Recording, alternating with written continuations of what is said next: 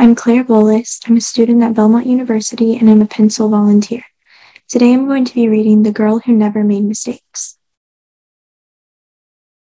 For Beatrice Bottomwell, Friday began like any other day.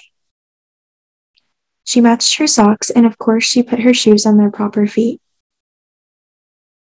She remembered to feed her hamster Humbert his favorite food, broccoli, and when she made a sandwich for her brother Carl's lunch, she used exactly the same amount of peanut butter as jelly. When she stepped outside to greet her fans, she didn't forget to say good morning and thank you. They asked if she made her bed. She had. They asked if she forgot to do her math homework. Nope. What about tonight's talent show? They asked. I'm ready, said Beatrice with a smile. After all, her juggling act had won three years in a row.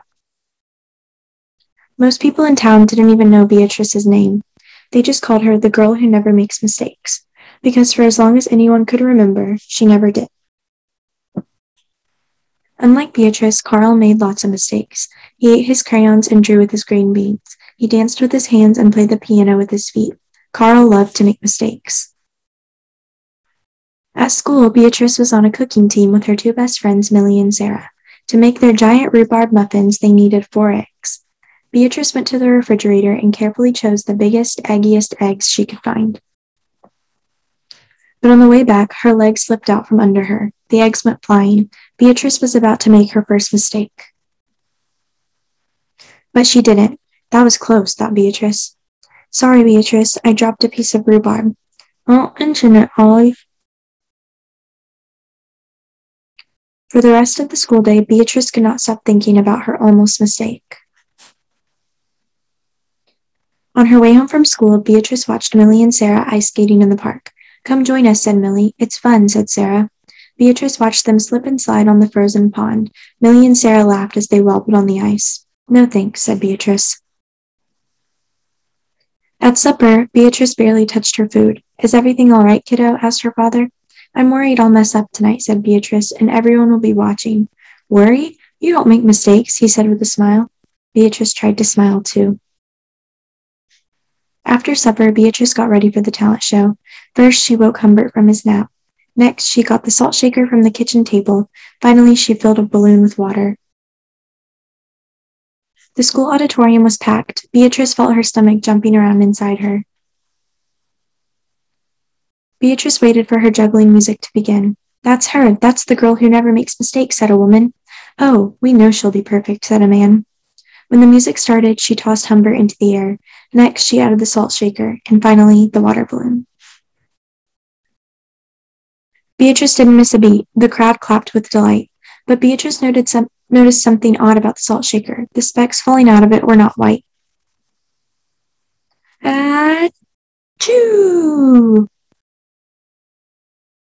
Humbert was so surprised by his sneeze that he grabbed the water balloon with his claws. Kablooey! Humbert, pieces of water balloon, and the pepper rained down on top of Beatrice.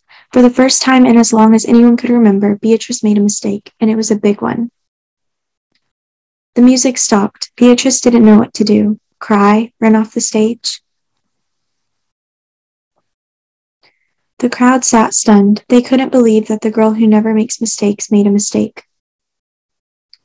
Beatrice looked up at Humbert. He looked back at her. His hamster fur was soaked and speckled with bits of balloon. Beatrice let out a giggle. The giggle grew into a chuckle, and the chuckle became a laugh. The people in the crowd looked at each other and then back at Beatrice. They began to giggle, then chuckle, then finally roar with laughter. Beatrice and the audience laughed until they couldn't remember why they were laughing. That night, Beatrice slept better than she ever had. In the morning, no fans greeted Beatrice. When she got dressed, Beatrice, for no reason at all, put a polka dot sock on one foot and a plaid sock on the other. Beatrice and Carl made sandwiches. This time they put the peanut butter and jelly on the outside. They called it an inside out PB&J. Lunch was messy and delicious. Later, Beatrice found Millie and Sarah ski- skating in the park. They fell a lot and laughed. Now people no longer call her the girl who never makes mistakes. They just call her Beatrice. The end.